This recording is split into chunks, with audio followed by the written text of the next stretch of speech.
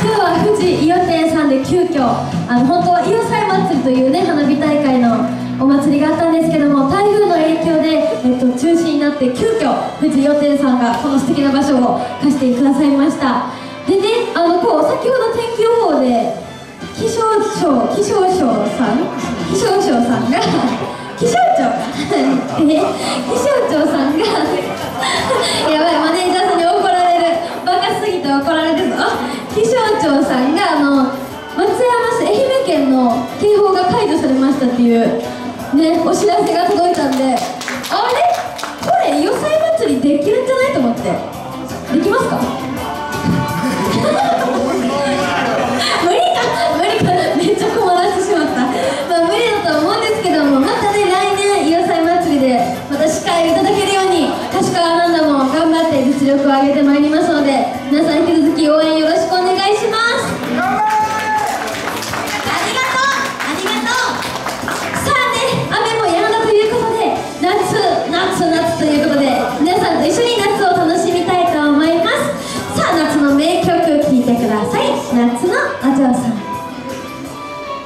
間違えた間違えた間違えたごめん